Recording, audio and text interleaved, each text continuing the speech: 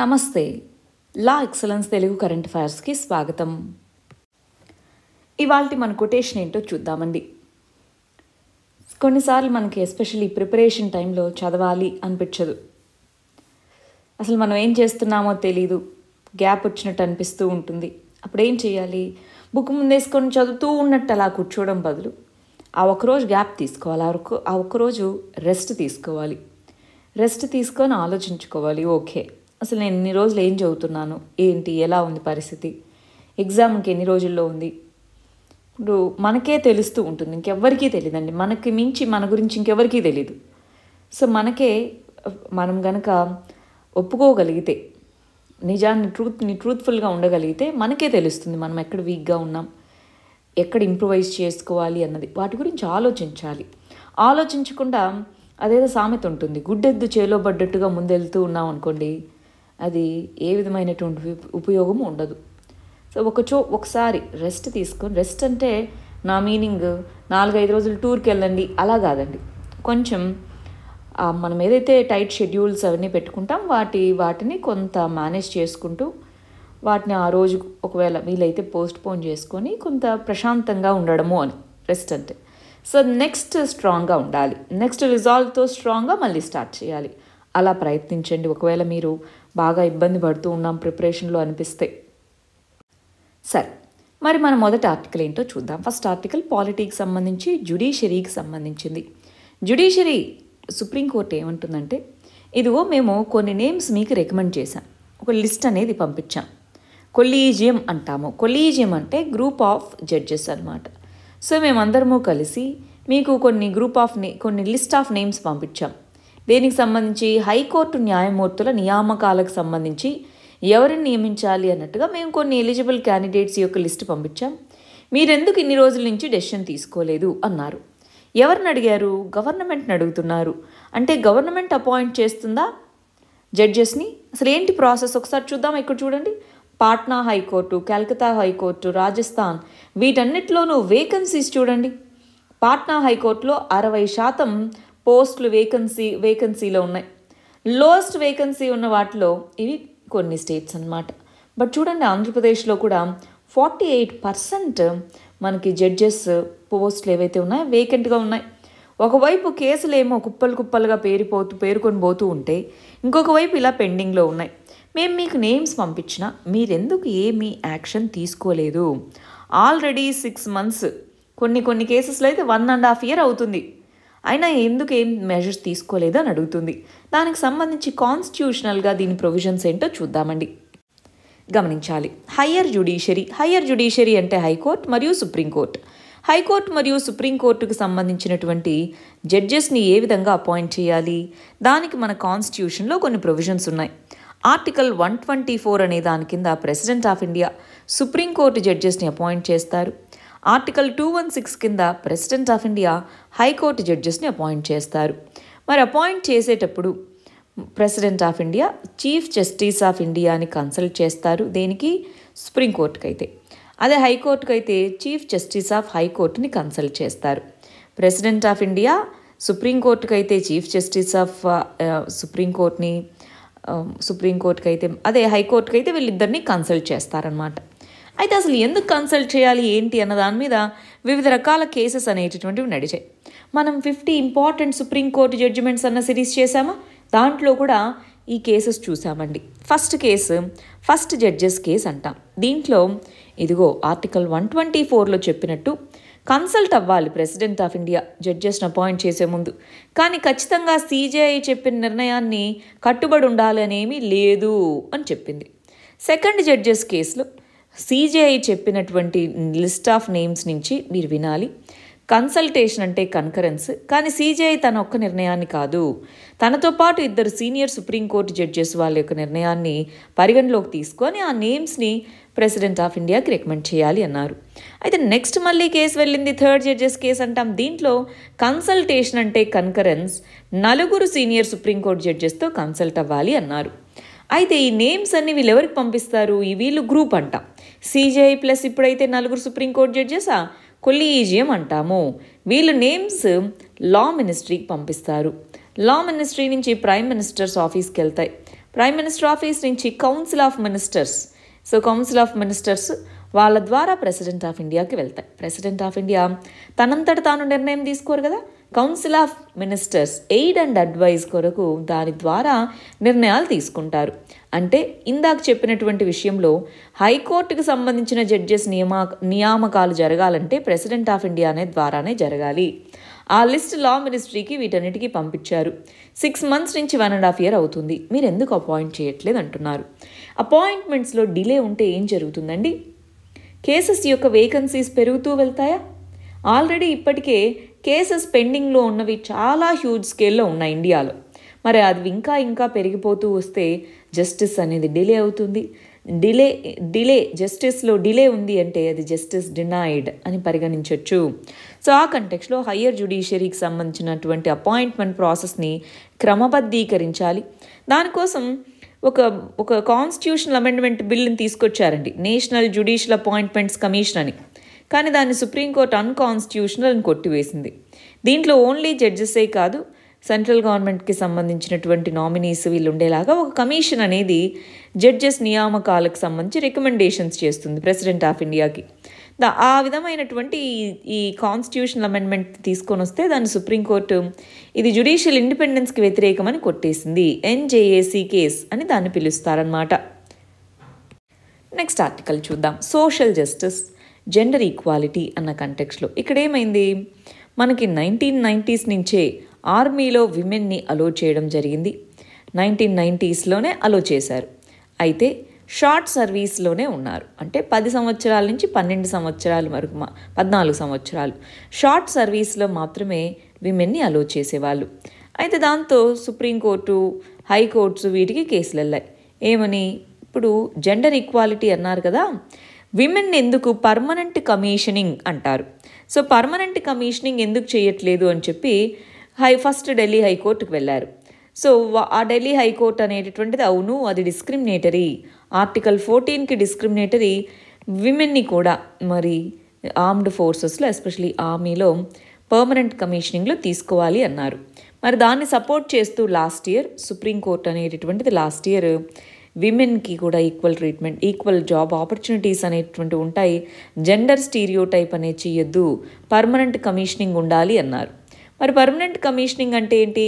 Short service నుంచి కొంతమందిని eligibility criteria ఉంటుంది. దాని తర్వాతే పర్మనెంట్ కమిషనింగ్ చేస్తారనమాట ఆ క్రైటీరియాలో మీరు మళ్ళీ డిస్క్రిమినేషన్ చూపిస్తున్నారు అని ఇప్పుడు మళ్ళీ సుప్రీంకోర్టు ఎవాల్యుయేట్ చేయాలి షార్ట్ సర్వీస్ నుంచి పర్మనెంట్ కమిషనింగ్ తీసుకోవాలంటే ఎవాల్యుయేట్ చేస్తారు. ఆ ఎవాల్యుయేషన్ ప్రాసెస్లో మరి ప్రాబ్లం అనేటటువంటిది ఉంది. అవాల్యుయేషన్ ప్యాటర్న్లో ప్రాబ్లం ఉంది. విమెన్ ఆఫీసర్స్ని డిస్క్రిమినేట్ చేస్తున్నారు అలా చేయకూడదు అన్నట్టుగా చెప్తుంది.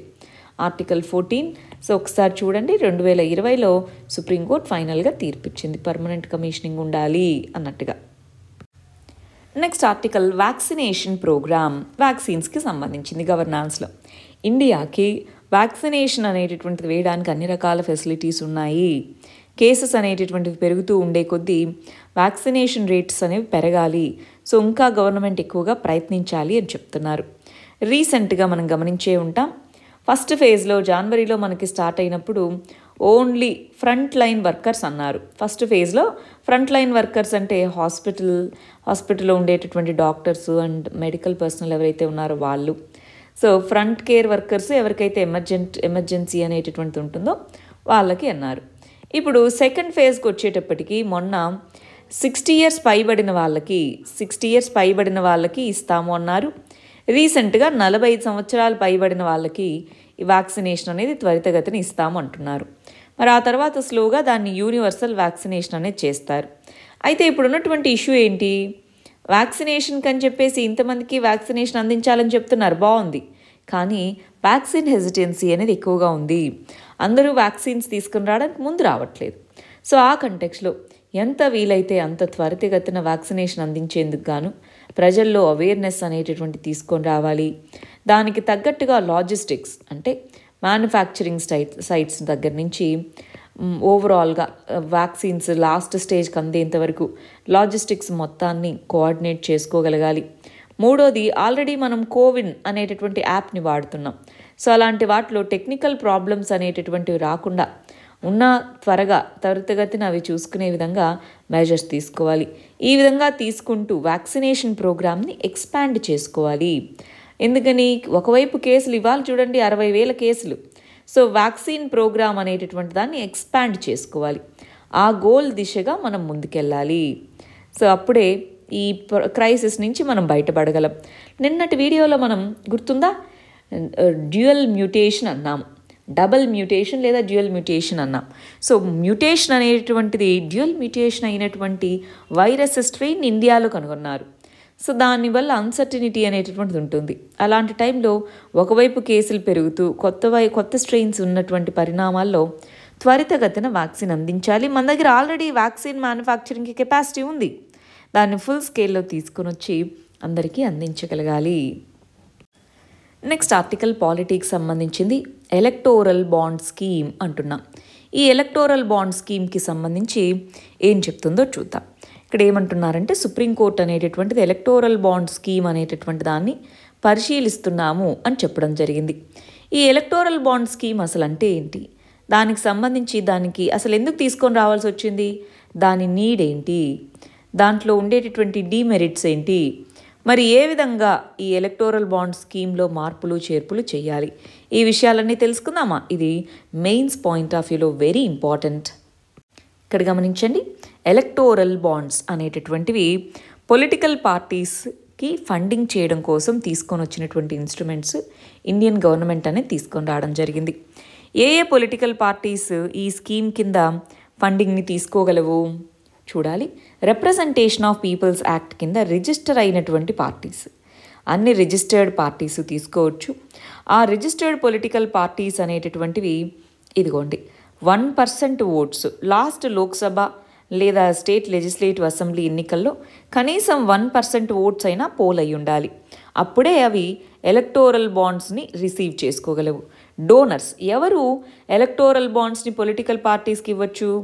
ఎనీ సిటిజన్ ఆఫ్ ఇండియా లేదా ఇండియాలో ఇన్కార్పొరేట్ అయినటువంటి ఏ కంపెనీ అయినా సరే అది ఫారిన్ కంపెనీ అయ్యుండి ఇండియాలో రిజిస్టర్ అయ్యి ఉన్నా సరే వాళ్ళు ఎలక్టోరల్ బాండ్స్ని ఇవ్వచ్చు. సిటిజన్స్ డైరెక్ట్గా ఆ ఎలక్టోరల్ బాండ్స్ని కొనుక్కోవచ్చు. లేదా వేరే ఇండివిజువల్స్ కొనుక్కుంటే వాళ్ళ దగ్గర నుంచి వాళ్ళతో అయినా కలిసి తీసుకోవచ్చు. ఇక్కడ ఏం జరుగుతుంది?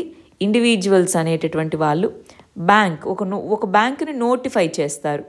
ఆ బ్యాంక్ మాత్రమే ఎలక్టోరల్ బాండ్స్ రిలీజ్ చేయగలదు. ప్రస్తుతానికైతే ఎస్బీఐ అనేటటువంటిది నోటిఫై చేసింది. వీళ్ళు వెళ్ళి ఈ బ్యాంక్లో రిజిస్టర్ చేసుకొని బ్యాంక్ అకౌంట్ ఓపెన్ చేసుకొని బ్యాంక్కి సంబంధించి అక్కడ కేవైసీ డీటెయిల్స్ అవన్నీ ఫిల్ చేసుకొని ఆ బాండ్ను కొనుక్కొని తీసుకెళ్ళి ఈ ఇల్లు.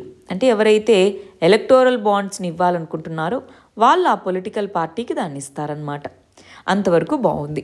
సరే. మరి దీంట్లో దీనికి సంబంధించి కొన్ని ప్రొవిజన్స్ చూడండి. ఫినాన్స్ చట్టం రెండు వేల పదిహేడు అనేది ఈ ఎలక్టోరల్ బాండ్స్ని ఇంట్రడ్యూస్ చేయడం కోసం రిజర్వ్ బ్యాంక్ ఆఫ్ ఇండియా చట్టాన్ని ఇన్కమ్ ట్యాక్స్ చట్టాన్ని కంపెనీస్ చట్టాన్ని రిప్రజెంటేషన్ ఆఫ్ పీపుల్స్ చట్టాన్ని ఫారిన్ కాంట్రిబ్యూషన్స్ రెగ్యులేషన్ చట్టాలని వీటన్నిటిలోనూ అమెండ్మెంట్స్ తీసుకొని వచ్చింది తీసుకొని వచ్చి ఎలిజిబిలిటీ కల్పించడము. ఎందుకంటే ఇంతకుముందు ఇలాంటి ఫారిన్ కంపెనీస్ అనేటటువంటివి పొలిటికల్ ఫండింగ్ చేయడానికి అలవలేదు ఇప్పుడు అవి ఫారిన్ కంపెనీస్ అయ్యి ఉండి ఇండియాలో రిజిస్టర్ అయ్యి ఉంటే చేయొచ్చు అని మార్చారు.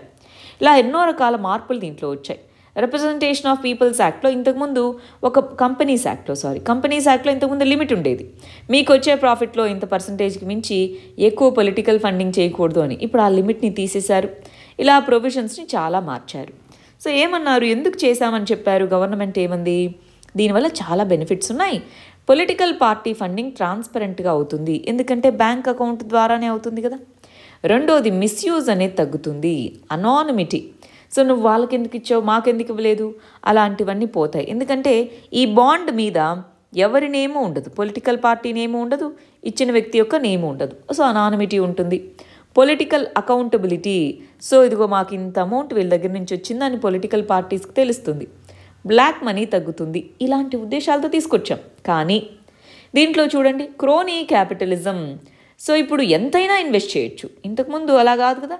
ఎంతైనా ఆ కంపెనీ ఇన్వెస్ట్ చేయొచ్చు. సారీ ఎంతైనా ఫండింగ్ అనేది చేయొచ్చు. సో దాంతో క్రోనీ క్యాపిటలిజం అంటే పొలిటికల్ పార్టీస్ కంపెనీస్ కలిసి కుమ్మక్కవడం అది పెరగచ్చు. పొలిటికల్ ఇన్ఫ్లుయెన్స్ పార్టీస్ది పెరుగుతుంది. ఆడిట్ రిపోర్ట్స్ ఎవరి దగ్గర నుంచి ఎంత వచ్చిందన్న ఆడిట్ రిపోర్ట్స్? మామూలుగా అయితే అవి రాగానే ఎలక్షన్ కమిషన్కి ఇవ్వాలి ప్రతి సంవత్సరం. దాంట్లో డిలేస్ అవుతున్నాయి ఫారిన్ ఫండింగ్ అనేది రిసీవ్ చేసుకుంటున్నాయి పార్టీస్ ఎలక్షన్ కమిషన్కి సంబంధించి నాన్ డిస్క్లోజర్ ఇక్కడ ఇంపార్టెంట్ ప్రాబ్లం ఏంటి అంటే ఎవరి దగ్గర నుంచి ఎలక్టోరల్ బాండ్ వచ్చింది ఎంత మనీ అన్నది ఎవరెవరి దగ్గర నుంచి ఎంత మనీ వచ్చిందన్నది ఎలక్షన్ కమిషన్కి చెప్పాల్సిన అవసరం లేదు. ఓవరాల్గా ఇంత మనీ వచ్చింది ఇన్ని కోట్లు వచ్చాయి. అంతే తప్ప ఎవరి దగ్గర నుంచి ఎంత వచ్చిందని చెప్పాల్సిన అక్కర్లేదు. దాంతో ఈ ఏ కంపెనీ అయినా కానీ ఫండ్ అనేది ఇవ్వడంతో రౌండ్ ట్రిప్పింగ్ కావాలని మనీ లాండరింగ్ ద్వారా వచ్చిన మనీని షెల్ కంపెనీస్ని అంటే అసలు ఏ యాక్టివిటీ చేయదు. జస్ట్ కంపెనీ ఓపెన్ చేసుకుంటుంది. దానికి ఏ సోర్స్ నుంచి డబ్బులు వచ్చినా సరే అది పొలిటికల్ పార్టీకి ఇవ్వడం. ఇలాగ బ్లాక్ మనీని వైట్గా మార్చుకోవడానికి వీటన్నిటికీ ఎలక్టోరల్ బాండ్స్ అనే స్కీమ్ని మిస్యూజ్ చేస్తున్నారన్నది క్రిటిసిజం. మరి ఈ కంటెక్స్లో ఏం చేయాలి? ఇదిగో స్టేట్ ఫండింగ్ ఆఫ్ ఎలక్షన్ అంటాం. స్టేట్ ఫండింగ్ ఆఫ్ ఎలక్షన్ని ఎంకరేజ్ చేయాలని పొలిటికల్ పార్టీస్కి ఆడిటింగ్ ఉండాలి. మనకి రకరకాల కమిటీస్ చెప్పాయి. వెం ఎంఎన్ వెంకట్ చెల్లయ్య కమిటీ దగ్గర నుంచి అందరూ కూడా పొలిటికల్ పార్టీ ఆడిటింగ్ ఉండాలి. ఎలక్షన్ కమిషన్ యొక్క పవర్స్ కాన్స్టిట్యూషనల్గా ఇంకా స్ట్రెంగ్తెన్ చేయాలి. లెజిస్లేటివ్ మెజర్స్ తీసుకోగలగాలి. వీటన్నిటి ద్వారా ఎలక్టోరల్ బాండ్స్ యొక్క మిస్యూజ్ని మనం తగ్గించవచ్చు పొలిటికల్ పార్టీ ఫండింగ్లో ట్రాన్స్పరెన్సీని పెంచవచ్చు నెక్స్ట్ ఆర్టికల్ చూద్దాం. ఇంటర్నేషనల్ రిలేషన్స్కి సంబంధించి ఇండియా బంగ్లాదేశ్ రిలేషన్షిప్ అన్నదానికి సంబంధించండి. ఇండియా బంగ్లాదేశ్ మధ్య రిలేషన్షిప్ ఎలా ఉంది? మనం చూస్తుంటే మన ఛానల్లో ఇండియా బంగ్లాదేశ్ ఓవరాల్గా ఏ విధమైన మెజర్స్ ఉన్నాయి అని చెప్పేసి మనం ఒక స్పెషల్ వీడియో కూడా చేసాం అది ఒక్కసారి చూడండి ఐఆర్కి సంబంధించి డీటెయిల్డ్గా ఉంది. సో ఓవరాల్గా చూద్దాం. మనకి పంతొమ్మిది వందల డెబ్బై ఒకటిలో బంగ్లాదేశ్ అనేటటువంటిది ఇంతకుముందు దాన్ని వెస్ట్ పాక్ ఈస్ట్ పాకిస్తాన్ అనే వాళ్ళం. అది వెస్ట్ పాకిస్తాన్ నుంచి ఇండిపెండెన్స్ తెచ్చుకుంది. నైన్టీన్ సెవెంటీ వన్లో బాంగ్లాదేశ్ లిబరేషన్ దాన్నే బాంగ్లా లిబరేషన్ అంటారు. ఆ బాంగ్లా లిబరేషన్కి ఇంపార్టెంట్ లీడర్ ఇక్కడ కనిపిస్తున్నారా? షైక్ ముజబుర్ రెహమాన్ అన్నమాట. సో బాంగ్లా లిబరేషన్ అనేటటువంటి జరిగింది.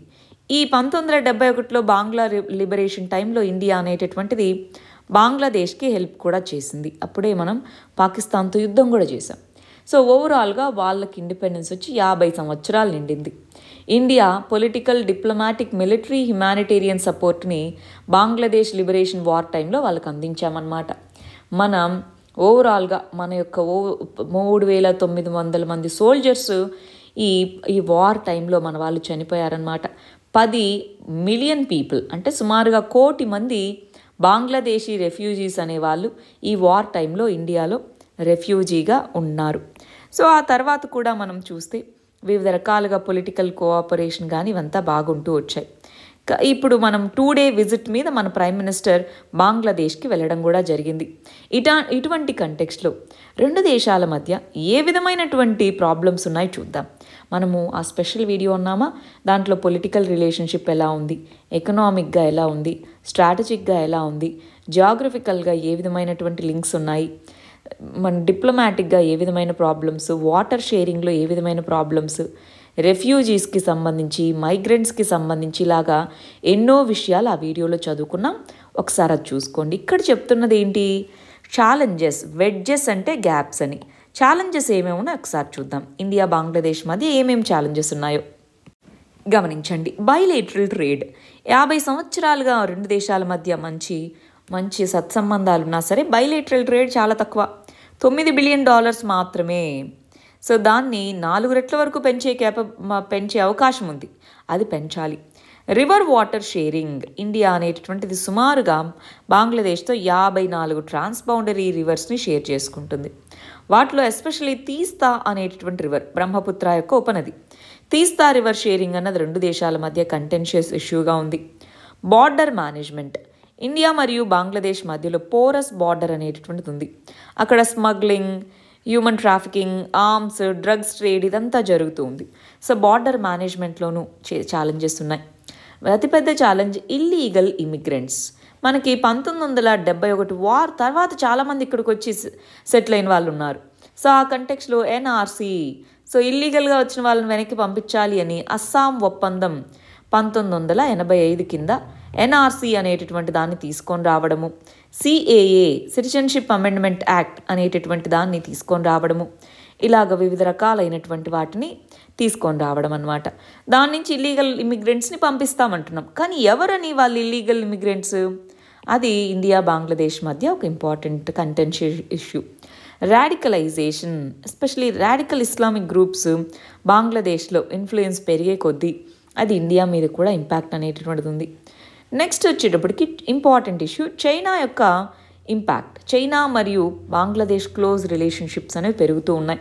బంగబంధు వన్ అనేటటువంటి ఫస్ట్ కమ్యూనికేషన్ శాటిలైట్ని చైనా సహాయంతో లాంచ్ చేయడం కానీ న్యూక్లియర్ పవర్ ప్లాంట్ అనేటటువంటిది బిల్డ్ చేయడం కానీ చిట్టగాంగ్ చిట్టగాంగ్ అనేటటువంటిది బంగ్లాదేశ్లో ఉండేటటువంటి ఒక ఇంపార్టెంట్ ప్లేస్ సో ఆ చిట్టగాంగ్ పోర్ట్ అనేటటువంటి దాంట్లో చైనా ఇన్వాల్వ్మెంట్ కానీ ఇలా వీటన్నిటిలోనూ చైనాతో బాగా క్లోజ్ కనెక్షన్ క్లోజ్ రిలేషన్ ఉండడం అన్నది ఒక ఇంపార్టెంట్ కంటెన్షియస్ ఇష్యూగా ఉంది.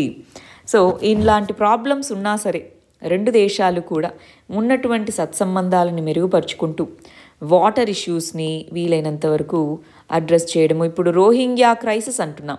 రోహింగ్యాస్ అనే వాళ్ళందరూ వచ్చేసి బంగ్లాదేశ్లో ఇప్పుడు రెఫ్యూజ్ తీసుకుంటున్నారు. సో ఈ రోహింగ్యా క్రైసిస్ని సాల్వ్ చేయడంలోనూ ఇలా వివిధ రకాల ఇష్యూస్లో కోఆపరేట్ చేసుకోవాలి. మనం వ్యాక్సిన్స్ని వీటిని గిఫ్ట్గా ఇచ్చాం. సో మ మన రెండు దేశాల మధ్య సత్సంబంధాలు అయితే ఉన్నాయి. కానీ ప్రాబ్లమ్స్ని ఐరన్ అవుట్. ఐరన్ అవుట్ అంటే సాల్వ్ చేసుకుంటూ ఇంకా స్ట్రాంగ్ కోఆపరేషన్తో ముందుకు వెళ్ళాలి. నెక్స్ట్ ఆర్టికల్ సైన్స్ అండ్ టెక్నాలజీకి సంబంధించి. ఇది ఇంపార్టెంట్ అండి. ఎందుకంటే మన యూనివర్సిటీ ఆఫ్ హైదరాబాద్ సో వీళ్ళు నాసాకు సంబంధించినటువంటి జెట్ ప్రొపల్షన్ ల్యాబొరేటరీ సో వీళ్ళు కలిసి ఇది ఈ రీసెర్చ్ దీనికి సంబంధించిన స్టడీని చేపట్టారండి.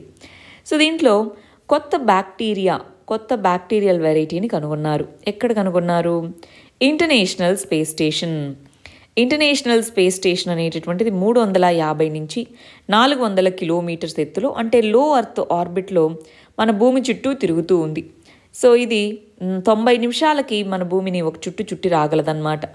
సో ఆ ఇంటర్నేషనల్ స్పేస్ స్టేషన్ అనేటటువంటి దీంట్లో కొత్త బ్యాక్టీరియల్ స్ట్రెయిన్ ఒకటి కనుగొన్నారు.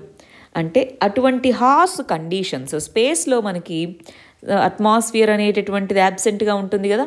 సో అటువంటి హార్ష్ కండిషన్స్లో కూడా అది గ్రో అయింది అంటే దాంట్లో ఉండేటటువంటి జెనెటిక్ మేకప్ జీన్స్ అనేటటువంటివి ఏ విధంగా ఉన్నాయి అని చూసుకోవడం ఆ జెనెటిక్ మేకప్ని బేస్ చేసుకొని దాన్ని దృష్టిలో ఉంచుకొని ప్లాంట్స్ కూడా పెంచచ్చా అన్న దాని మీద స్టడీ చేస్తున్నారు. ప్లాంట్స్ కూడా పెంచొచ్చు. దీని యొక్క జెనెటిక్ మేకప్ని స్టడీ చేయడం ద్వారా అని చెప్తున్నారు. అంటే ఇప్పుడు మనకి ఆస్ట్రోనాట్స్ వీళ్ళు స్పేస్కి వెళ్తే ఇక్కడి నుంచి ఫుడ్ క్యారీ చేసుకొని వెళ్ళాల్సిన అక్కర్లా అక్కడే ఫుడ్ని గ్రో చేసుకొని తినచ్చు అటువంటి కంటెక్స్లో అన్నమాట. ఇది ఓన్లీ స్పేస్ స్టేషన్లకు ఉపయోగపడుతుందని కాదు.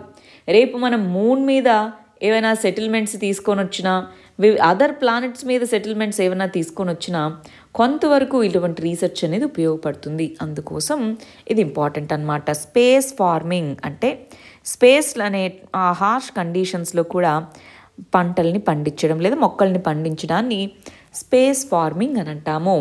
ఇది చూడండి మిథైలో బ్యాక్టీరియం ఇండికం అంటారు. మిథైలో బ్యాక్టీరియం ఇండికం అనేటటువంటిది భూమి మీద మనం జనరల్గా చూస్తాం. ఇక్కడ కనుగొన్నటువంటిది methylobacterium ajmalii very important methylobacterium ajmalii అంటున్నాం. ఇది స్పేస్లో కనిపించినటువంటి స్ట్రెయిన్ అన్నమాట. సో దీనికి అజ్మలి అని ఎందుకు పేరు వచ్చిందంటే Indian biodiversity scientist doctor Ajmal Khan. So ఆయన ఆయన యొక్క కాంట్రిబ్యూషన్స్కి దృష్టిలో పెట్టుకొని ఆ పేరు పెట్టారు.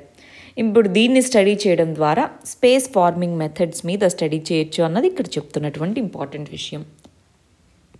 Next article very very important DFI DFI అనేటటువంటి దానికి సంబంధించి ఆ కాన్సెప్ట్ ఏంటో మనం చూద్దాం. ఎకానమీకి సంబంధించి డెవలప్మెంటల్ ఫినాన్షియల్ ఇన్స్టిట్యూషన్స్ అని అంటున్నాం. ఇక్కడ రీసెంట్గా national bank for financing infrastructure development అనేటటువంటి దానికి రాజ్యసభ ఆమోదం తెలిపిందనమాట రాజ్యసభ ఆమోదం తెలిపింది. ఆల్రెడీ ఇంతకుముందే లోక్సభ ఈ బిల్లుని పాస్ చేసునింది. ఇంకా ప్రెసిడెంట్ ఆఫ్ ఇండియా ఓకే చెప్తే అది పాస్ అయిపోయి చట్టంగా మారుతుందన్నమాట. గమనించాలి. National bank for financing infrastructure and development. ఈ బ్యాంక్ని ఎన్బిఎఫ్ఐడి అనే దాన్ని సెటప్ చేయడం. ది ఈ కాన్సెప్ట్ని డెవలప్మెంటల్ ఫినాన్స్ ఇన్స్టిట్యూషన్స్ అంటారు. ఇది కాన్సెప్ట్ ఇది బ్యాంక్ పేరు కాదు ఇది ఒక కాన్సెప్ట్ దాని కింద తీసుకొచ్చిన bank NBFID national bank for financing infrastructure and development అంటాం. ముందు ఈ డిఎఫ్ఐ అంటే ఏంటో చూద్దాం ఆ తర్వాత ఆ బ్యాంకు గురించి చూద్దాం. ఫస్ట్ డెవలప్మెంటల్ ఫైనాన్స్ ఇన్స్టిట్యూషన్స్ అంటే ఏంటో చూద్దాం. జనరల్గా గవర్నమెంట్ లేదా పబ్లిక్ ఇన్స్టిట్యూషన్స్ ఈ డెవలప్మెంటల్ ఫైనాన్స్ ఇన్స్టిట్యూషన్స్ ఇవేం చేస్తాయి? ఇన్ఫ్రాస్ట్రక్చర్ మరియు లార్జ్ స్కేల్ ప్రాజెక్ట్స్కి ఫండింగ్ అనేది కల్పిస్తూ ఉంటాయన్నమాట. జనరల్గా నార్మల్ బ్యాంక్స్ అనేటటువంటివి లాంగ్ టర్మ్లో ఏమైనా ప్రాజెక్ట్స్ ఉన్నాయి అంటే వాటి నుంచి ఎప్పుడు రిటర్న్స్ వస్తాయో తెలియదు అని చెప్పి లోన్స్ ఇవ్వడానికి అంత సుముఖత చూపించవు. అటువంటి కంటెక్స్లో స్పెసిఫిక్గా డిఎఫ్ఐస్ని తీసుకొని రావడం అనమాట వీటి ద్వారా ఎకనామిక్ డెవలప్మెంట్ ఉంటుంది. ఎందుకని? ఇన్ఫ్రాస్ట్రక్చర్లో ఇన్వెస్ట్ చేస్తాం కాబట్టి కాస్ట్ ఆఫ్ బారోయింగ్ తక్కువ వడ్డీ రేట్కే లోన్స్ ఇవ్వడము ఇది కాంపిటీషన్ని పెంచుతుంది. ఎన్పిఏస్ ఎస్పెషలీ ఎన్పిఏస్ అనేవి కమర్షియల్ బ్యాంక్స్లో వీటిలో పెరుగుతూ ఉన్నాయి. సో వాళ్ళు లాంగ్ టర్మ్ ప్రాజెక్ట్స్కి లోన్స్ ఇచ్చే పరిస్థితుల్లో లేరు. కానీ ఇన్ఫ్రాస్ట్రక్చర్కి ఫినాన్స్ చేయకపోతే ఎకనామిక్ గ్రోత్ ఉంటుందా? ఉండదు. అందుకోసం డిఎఫ్ఐ అనేటటువంటి వాటిని తీసుకొని రావడం అనమాట అంటే ఇదేమన్నా ఫస్ట్ అనుకుంటున్నారా? కాదు. ఆల్రెడీ డెవలప్మెంట్ బ్యాంక్స్ ఉన్న ఇండియాలో చూడండి ఇండస్ట్రియల్ డెవలప్మెంట్ కోసం ఐడిబిఐ అని సిడ్బి అని ఇవన్నీ. అగ్రికల్చరల్ డెవలప్మెంట్ బ్యాంక్స్ నాబార్డ్ అని. Export import development banks EXIM bank housing bank NHB అని ఉన్నాయి. ఇక్కడ డెవలప్మెంటల్ బ్యాంక్స్ అనేటటువంటివి డెవలప్మెంటల్ ఫైనాన్షియల్ ఇన్స్టిట్యూషన్స్ అనేవి ఏమీ కొత్త కాదు. అది ఇంపార్టెంట్ విషయం అండి. ఇండియాలో ఇలాంటి డెవలప్మెంటల్ ఫైనాన్షియల్ ఇన్స్టిట్యూషన్ని ఫస్ట్ టైం నైన్టీన్ ఫార్టీ ఎయిట్లో తీసుకొచ్చాం. దాని పేరేంటి? ఆ బ్యాంక్ పేరు industrial financial corporation of India IFC అంటున్నాం. దాన్ని తీసుకొచ్చాం. ఆ తర్వాత ఐడిబిఐ అని నాబార్డ్ అని ఎగ్జిమ్ బ్యాంక్ అని ఇలాంటివన్నీ తీసుకొని రావడం జరిగిందనమాట చాలా వరకు బ్యా ఇదిగోండి బ్యాంక్స్ లాగా కన్వర్ట్ చేసాం ఇనిషియల్గా డెవలప్మెంటల్ బ్యాంక్స్గా తీసుకొని వచ్చినవి ఐసిఐసిఐ బ్యాంకు ఐడిబిఐ బ్యాంక్ లాగా మారాయి ఆ తర్వాత. బట్ ఇనీషియల్గా డిఎఫ్ఐస్గా వాటిని తీసుకొచ్చాం. మరి ఇప్పుడు స్పెసిఫిక్గా తీసుకొని వచ్చినటువంటి దీని పరిస్థితి ఏంటో చూద్దాం.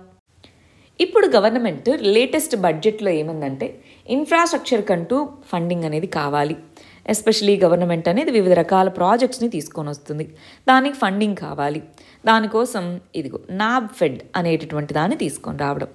National bank for financing infrastructure and development అంటున్నాం. సో దీంట్లో గవర్నమెంట్ ఆఫ్ ఇండియా అనేటటువంటిది వంద శాతం ఇనీషియల్గా షేర్ దాంట్లో ఉంటుంది. స్లోగా దాని యొక్క పర్సంటేజ్ని తగ్గించుకుంటూ ఇరవై ఆరు శాతం వరకు వెళ్తుంది అన్నారు. రెండవది ఇది social plus economic infrastructure very important. Social plus economic infrastructure ప్రాజెక్ట్స్లో invest చేస్తుంది. ఎస్పెషల్లీ మనకి నేషనల్ ఇన్ఫ్రాస్ట్రక్చర్ పైప్ లైన్ అంటున్నాం. ఈ నేషనల్ ఇన్ఫ్రాస్ట్రక్చర్ పైప్ లైన్ అనే దాంట్లో ఇన్వెస్ట్ చేస్తుంది. దీంట్లో ఒక బోర్డ్ అనేటటువంటిది ఉంటుంది. ఈ బోర్డులో at least fifty percent members non official directors అంటే ఇండిపెండెంట్ డైరెక్టర్స్ ఉంటారు. క్యాపిటల్ ఇన్ఫ్యూజన్ అన్నది ఫస్ట్ ఇనీషియల్గా గవర్నమెంట్ ఇరవై వేల కోట్లు తీసుకొని వస్తుంది. ఇనీషియల్ గ్రాంట్ ఐదు వేల కోట్ల రూపాయలతో మొదలుపెడుతుంది ఇరవై వేల కోట్ల రూపాయలకి. ఓవరాల్గా మూడు లక్షల కోట్ల రూపాయలని నెక్స్ట్ ఫ్యూ ఇయర్స్లో మార్కెట్ బేస్డ్గా తీసుకొని రావాలి అన్నది దీని యొక్క ఐడెంటి ఐడె దీని యొక్క ఇంపార్టెన్స్ అన్నమాట. దీంట్లో ఎవరన్నా ఇన్వెస్ట్ చేస్తే డిఎఫ్ఐ ఈ national bank for financing infrastructure and డెవలప్మెంట్లో ఎవరన్నా ఇన్వెస్ట్ చేస్తే పది సంవత్సరాల ట్యాక్స్ ఎగ్జంప్షన్ అనేది ప్రొవైడ్ చేయడం జరుగుతుంది. దాంతోపాటు వివిధ రకాల ఇన్సూరెన్స్ కంపెనీస్ పెన్షన్ కంపెనీస్ అన్నీ వచ్చి వీటిలో ఇన్వెస్ట్ చేసేలాగా వాటిని ఎంకరేజ్ చేస్తాము అని చెప్పారు.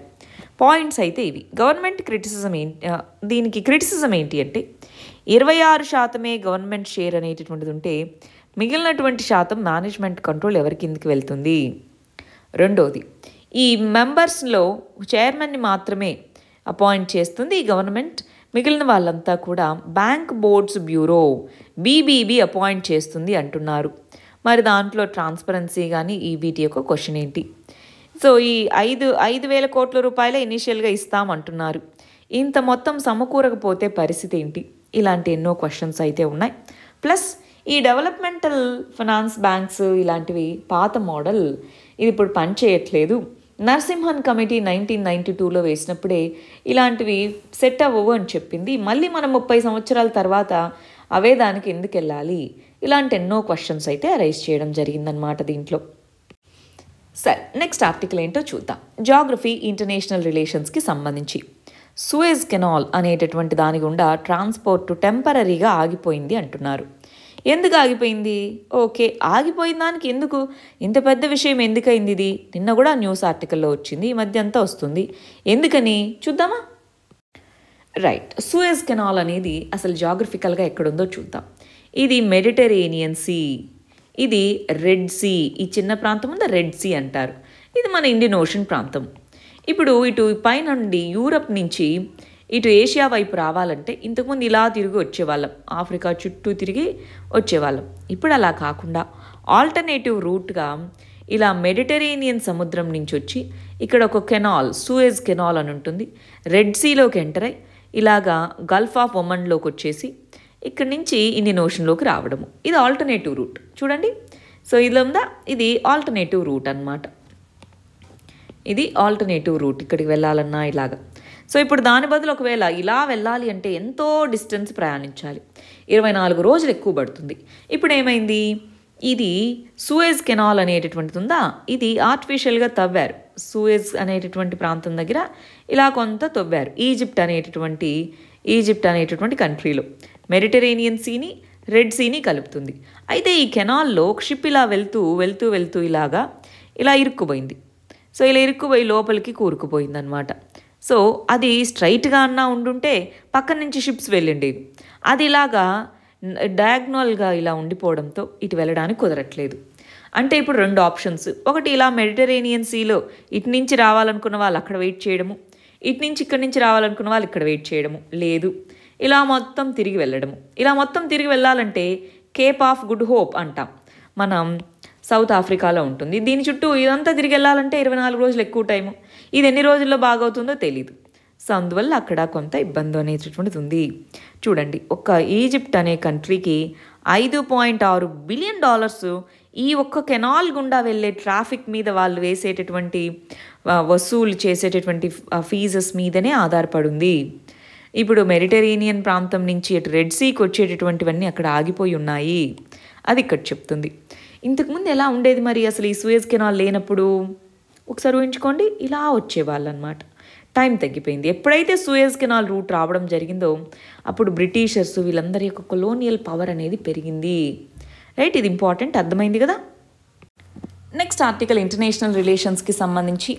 ఆల్రెడీ మనం దీన్ని మొన్నటి వీడియోలో చూసామండి.